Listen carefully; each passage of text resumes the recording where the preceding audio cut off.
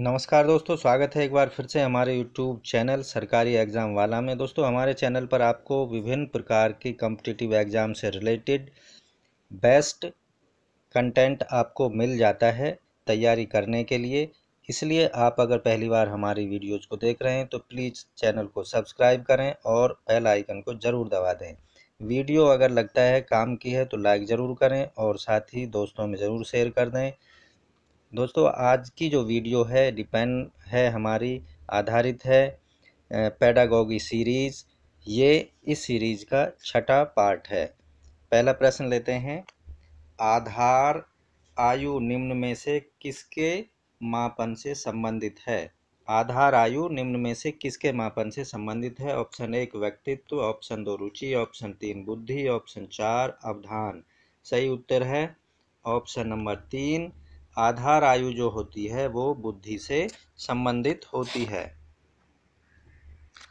बुद्धि जो है, आधार आयु और मानसिक आधार आयु, यानी वास्तविक आयु क्रोनोनिकल एज वास्तविक आयु के समीकरण में बुद्धि लब्धि ज्ञात की जाती है।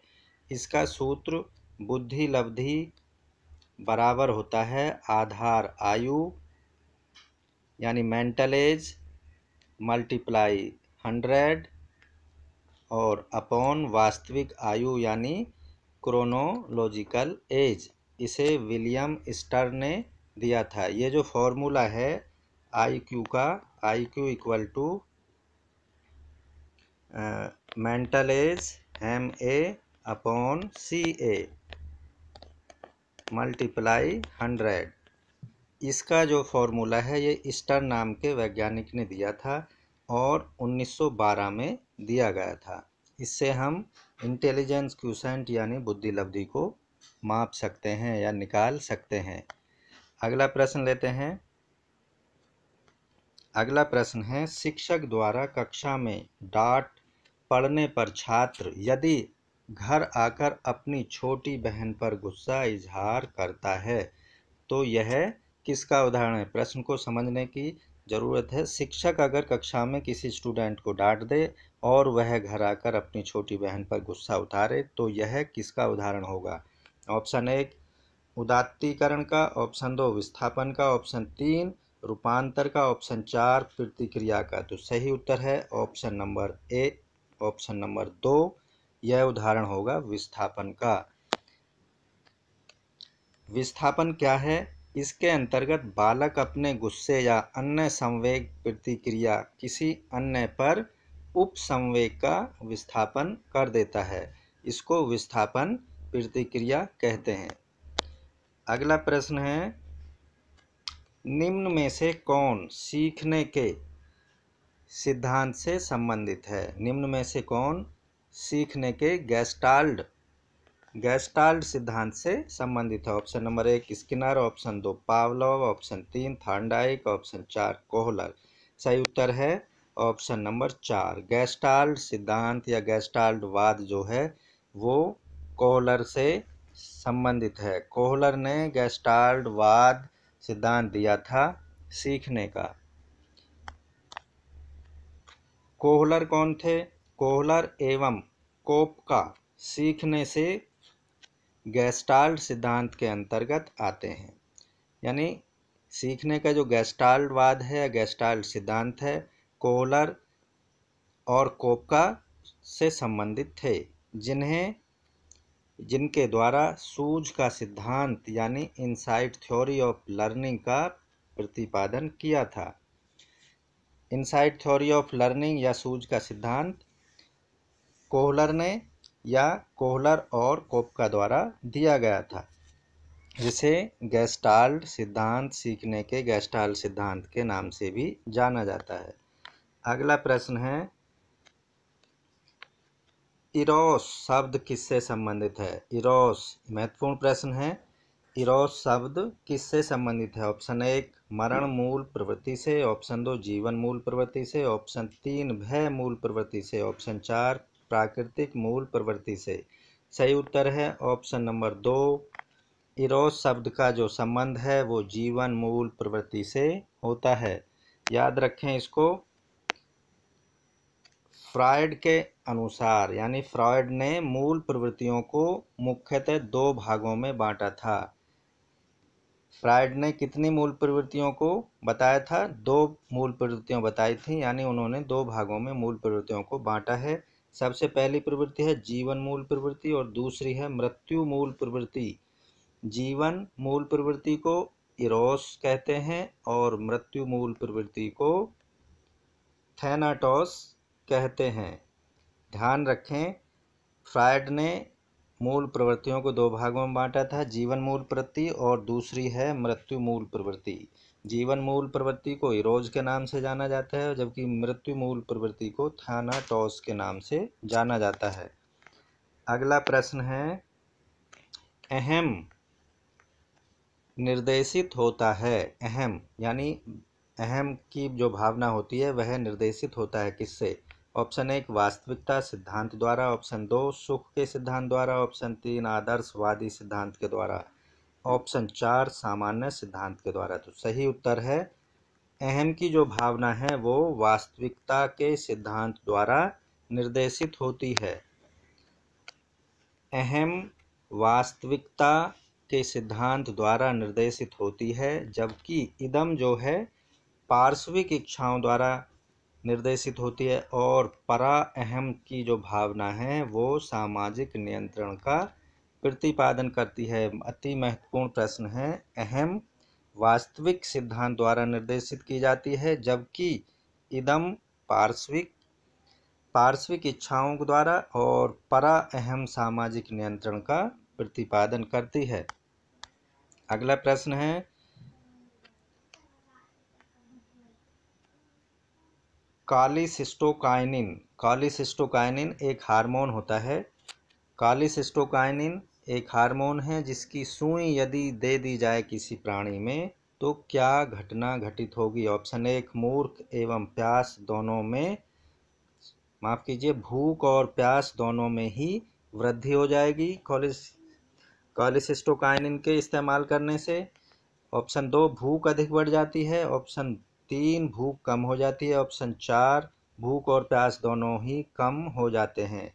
तो सही उत्तर है अगर हम किसी व्यक्ति को कॉलिसिस्टोकाइनिन हार्मोन का इंजेक्शन दे दें तो उसकी भूख सडनली कम हो जाती है कॉलिसिस्टोकाइनिन के इस्तेमाल से।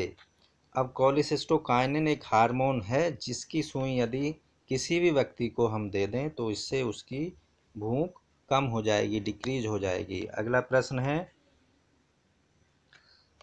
बुद्धि परीक्षण में एक सोलह वर्षीय बच्चा पचहत्तर अंक लाता है।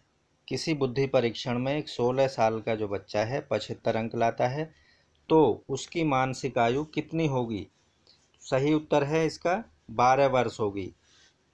इसमें यहाँ से आप निकाल सकते हैं आई क्यू वाले फॉर्मूला से।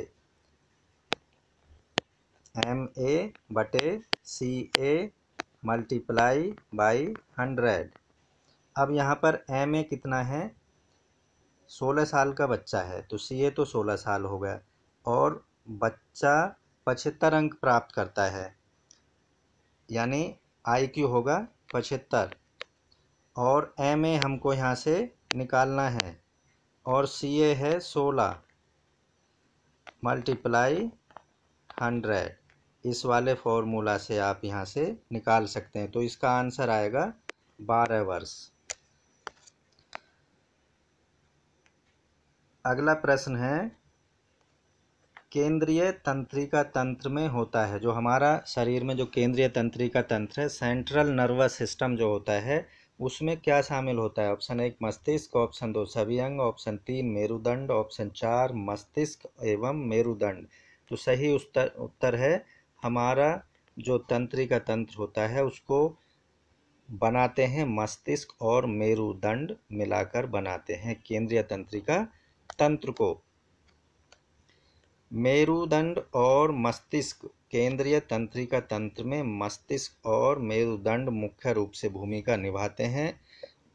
इन दोनों के संयुक्त ऑपरेशन से ही सेंट्रल नर्वस सिस्टम का कार्य चलता है। अगला प्रश्न है, मनोग्रसित मनोग्रसित बाध्यता विकृति एक है, यानी किस प्रकार की है?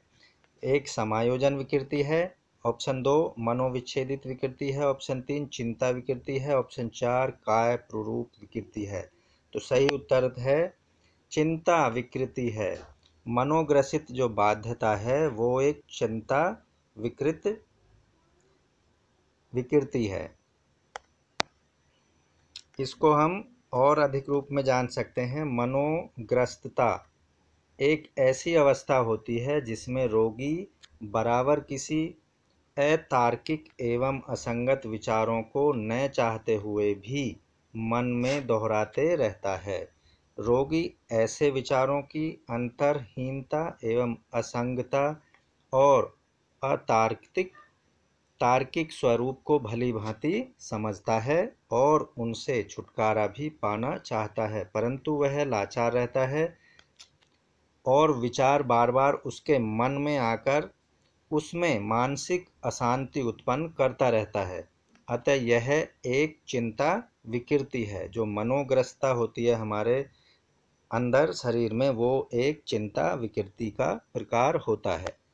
अगला प्रश्न है पार्ट नंबर सिक्स का ये अंतिम प्रश्न है, समूह अचेतन का संप्रत्यय किसके द्वारा दिया गया था? समूह या सामूहिक सामूहिक अचेतन का संप्रत्यय किसके द्वारा दिया गया था? ऑप्शन एक स्किनर ने, ऑप्शन दो, पावलोव ने, ऑप्शन तीन, फ्रायड ने, ऑप्शन चार, युंग ने। तो सही उत्तर है ऑप्शन नंबर चार, सामूहिक अचेतन का संप्रत्यय या सिद्धांत युंग द्वारा दिया गया था। अब युंग ने कहा था कि अचेतना को दो भागों में बांटा था। युंग वैज्ञानिक ने अचेतना को दो भागों में बांटा था। ऑप्शन एक एक होता है व्यक्तिगत अचेतन या अचेतना। दूसरा होता है सामूहिक अचेतना या अचेतन। दोस्तों, आज की इस वीडियो में बस इतना ही। ये अत्यंत महत्वपूर्ण प्रश्न थे दस के दस, जो आगामी परीक्षाओं में महत्वपूर्ण भूमिका निभा सकते हैं आपकी सफलता में। अगर दोस्तों वीडियो अच्छी लगी है तो बिल्कुल लाइक कर दें, उसमें ना शरमाएँ और अपने दोस्तों में ज़रूर शेयर कर दें। और अगर पहली बार हमारी वीडियो को देख रहे हैं आप तो प्लीज़ चैनल सब्सक्राइब करके बेल आइकन को ज़रूर दबाएँ। मिलते हैं अगली वीडियो में। धन्यवाद अपना कीमती समय देने के लिए और अपने जो फ्यूचर है उसको एक प्रॉपर दिशा देने के लिए। धन्यवाद।